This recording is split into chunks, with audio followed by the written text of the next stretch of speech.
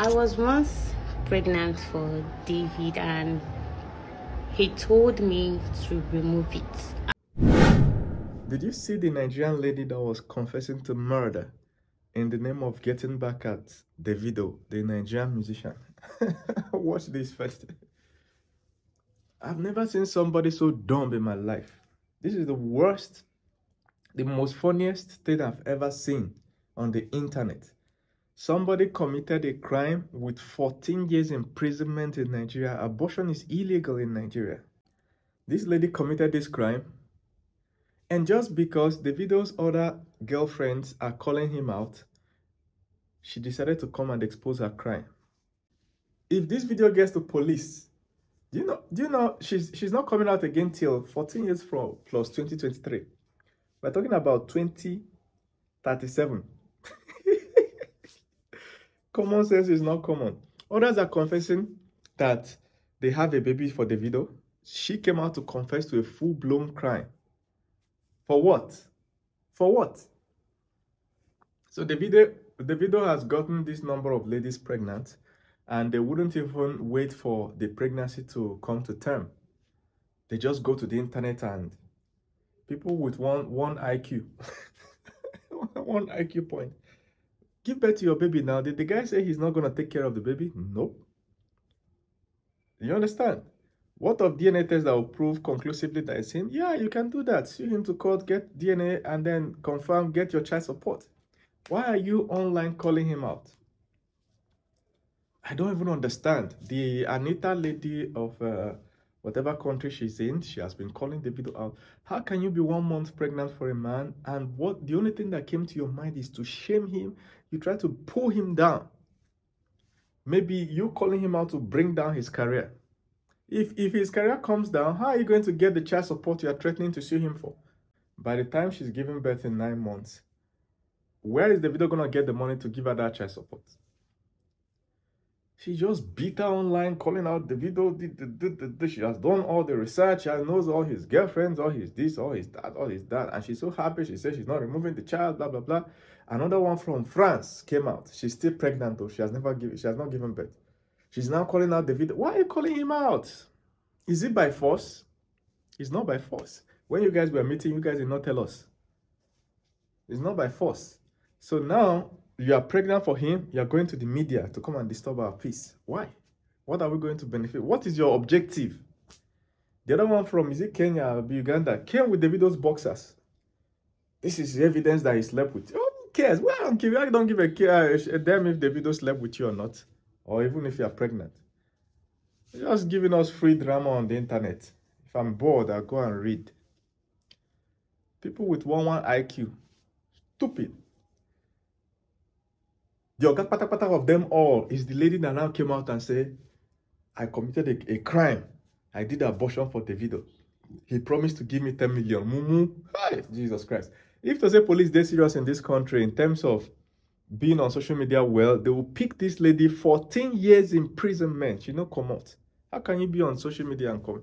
come? What happened to your education? What happened to your education? How can you study nursery school, primary school, secondary school, university?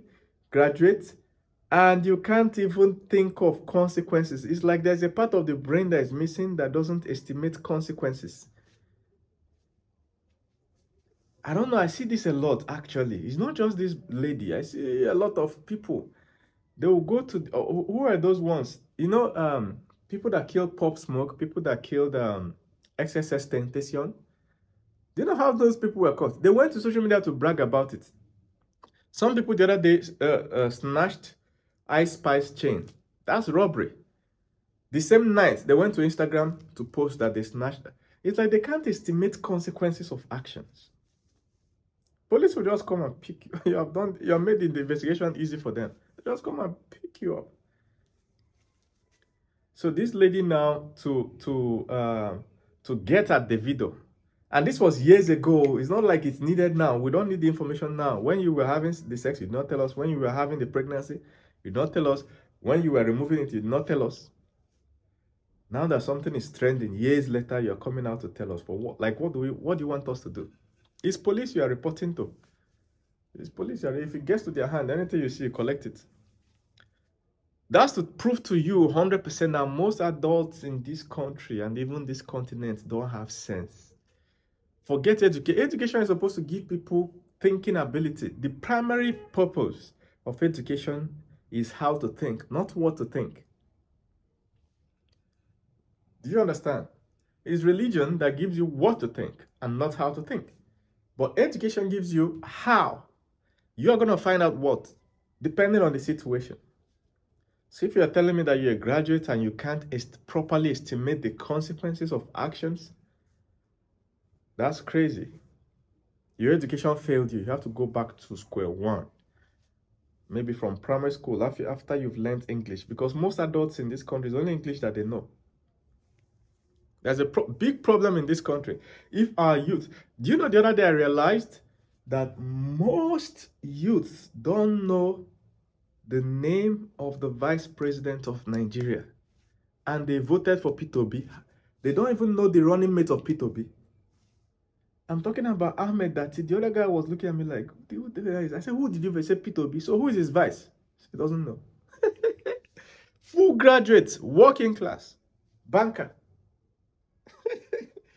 yeah, oh my God. Oh my God.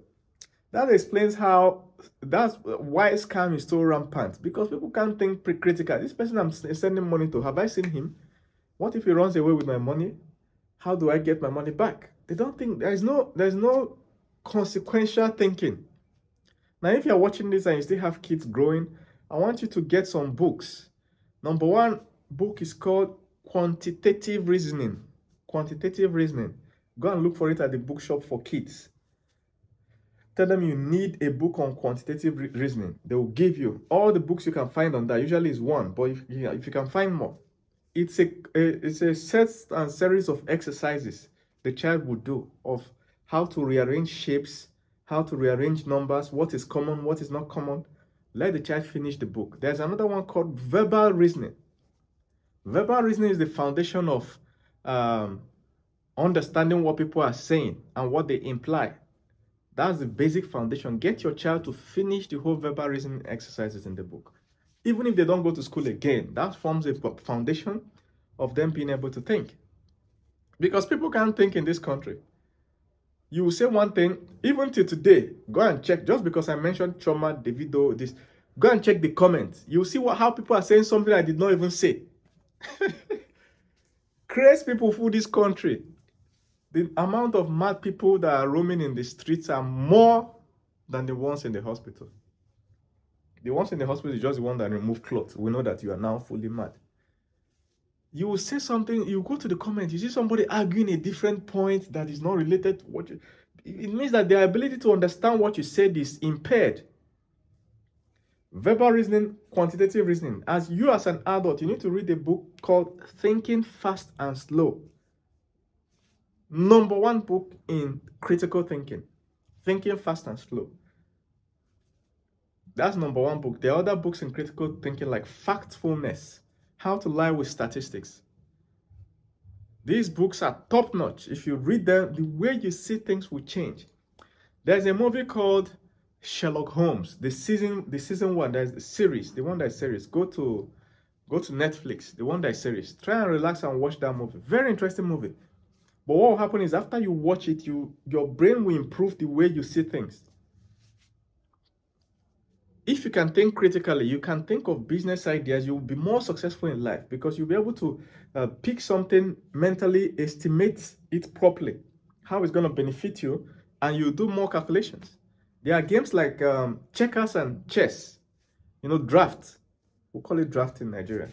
It's called checkers in the US. Checkers, chess try and introduce it to your family so your children and family members will start playing it because chess, chess helps you to think up to 14 levels deep in each direction. These are things that improve critical thinking. Otherwise, now Lodo, you born a smart child, but by the time they graduate university, they are stupid. Or Lodo, they will go to the internet and confess a crime, or even commit a crime for the purpose of confessing it. We now have a generation that is fully raised with social media all their self gratification they gain is from social media.